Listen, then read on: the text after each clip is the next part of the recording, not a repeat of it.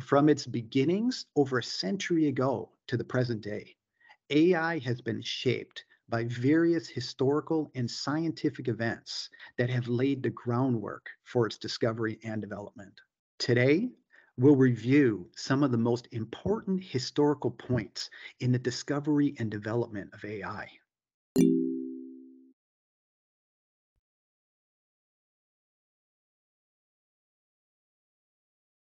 What is an audion? The vacuum tube, or audion, was invented by Lee De Forest in 1906, and it was one of the first technological breakthroughs that paved the way for the development of AI. These devices allowed electrical signals to be amplified and switched, which was fundamental to the creation of electronic circuits. What is cybernetics? During World War II, various scientists worked on the development of automatic control systems, leading to the birth of cybernetics. Cybernetics focused on the study of control and feedback systems in living organisms and machines. This discipline provided fundamental concepts for the development of AI by exploring how systems could simulate human behavior and learn from their environment. What is a Turing test? In 1950, British mathematician and scientist Alan Turing proposed a test to determine a machine's ability to exhibit intelligent behavior.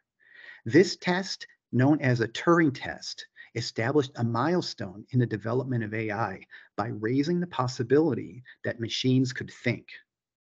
Although the Turing test is still a subject of debate, it laid the groundwork for future research and development in the field of AI. What is a perceptron? In 1958, psychologists Frank Rosenblatt and Bernard Widrow developed the perceptron, a machine learning algorithm that allowed machines to learn and recognize patterns. This milestone generated great optimism in the scientific community and opened the door to new possibilities in the field of AI. What is the winter of AI?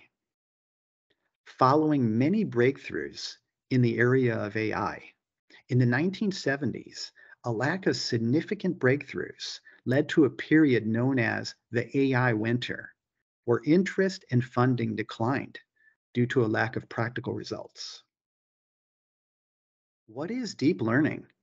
In the late 1980s and early 1990s, there was a resurgence in the field of AI thanks to the development of new techniques and algorithms. In particular, the deep learning approach, inspired by the structure and functioning of the human brain. This enabled machines to learn and extract complex features from massive datasets. This breakthrough paved the way for practical applications of AI, such as voice recognition, computer vision, and virtual assistants, some of which led to massive adoption globally. Most of us have probably used this technology on our phones, our computers, and on TVs without knowing it, without knowing that it was AI.